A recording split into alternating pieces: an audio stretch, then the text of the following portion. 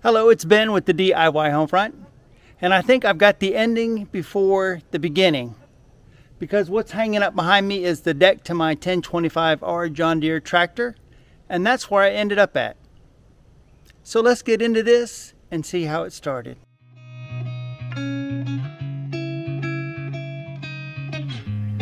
So I've had my tractor for about two years. So this has been out in the elements for about two years. And I had never intended to do that.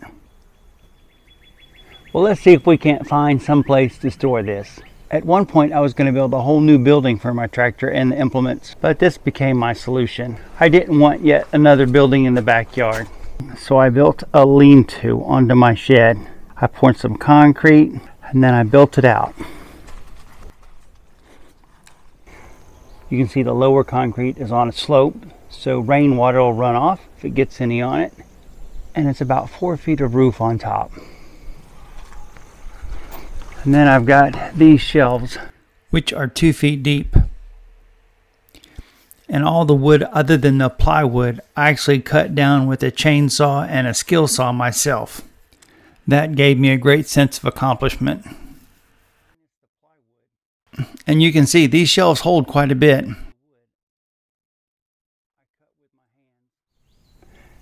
This past year as a Christmas present to myself, I bought some aftermarket products that allow you to pick up the deck with the front forks of the tractor. And I think what I'm going to do is I'm going to hang the deck from chains right here. So let's put some chains up there and then we'll get the tractor and pick it up. I'm using a zinc plated grade 30 quarter inch chain that is rated for 6,750 pounds, which should be plenty to hold up this 54 inch John Deere 1025R mower deck.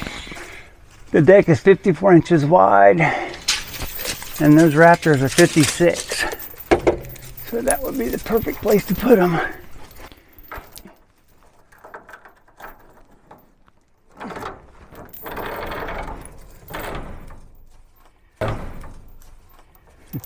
I'll cut this chain with the grinder once I got the deck up there.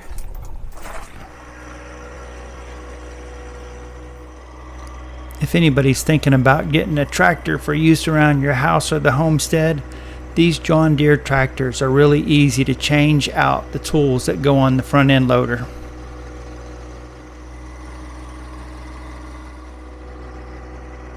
I got these yellow adapters that bolt onto the mower deck that allow you to pick it up with the front end loader and I sure am glad I did. It really makes moving this mower deck around a lot easier. I have yet to really sharpen the blades but I also imagine it would make it really easy to hold the deck in such a way that you have easy access to the underside to sharpen the mower blades.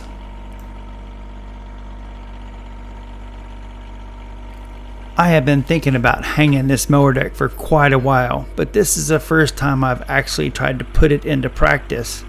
And I'm going to have to pay special attention to that mower bracket to make sure that it's up and out of the way.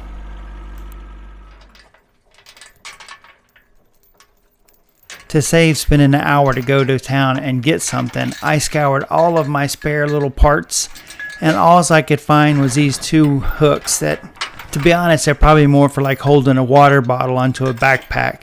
And I tried to use them and they bent.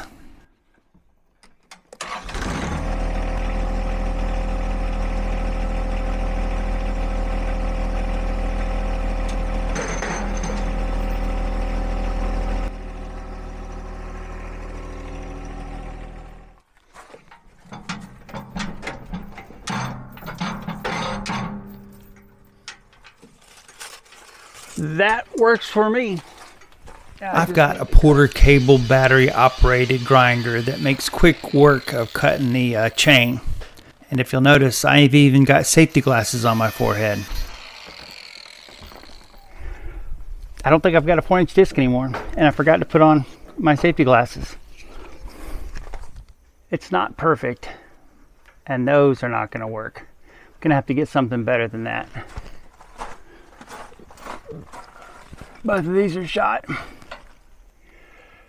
And that's because I had it, I was pulling down with it with the force of the tractor. before I uh, let it loose of these. So when I put this up, these were the best that I had, and you can see they did not work. So I got some stainless steel one quarter inch locking chain connectors that are rated for 800 pounds. And they should be plenty strong enough to hold up this mower deck. It'll be a little bit more inconvenient because I'll have to move that when I want to put the bucket on there. But like I said, most of the time when I'm using my tractor and it's just staying in the barn, it's got the forklifts on it because I would say nine out of the 10 times I use it is to move something with the forklifts. Well, I am happy with that. I've been meaning to do that for a long time. So I guess this conclude this very short and brief video. Like, subscribe, check out the playlist, and I'll see you in that next video.